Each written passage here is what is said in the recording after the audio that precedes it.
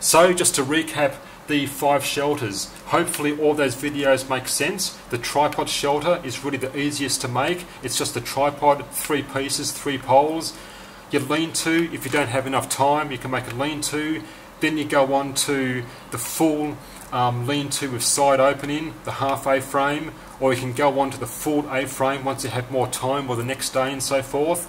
And then of course my number five, the full pen shelter, was, was my fully self-supporting structure with tripods, without trees. If you don't have trees or you just may want to make um, a fully self-supporting structure or like a hut type style shelter, uh, but ideally for emergencies and so forth, a ridge pole supported in, in between two trees is obviously the easiest way to go. So there it is. I hope that all makes sense and um, I'll see you next time.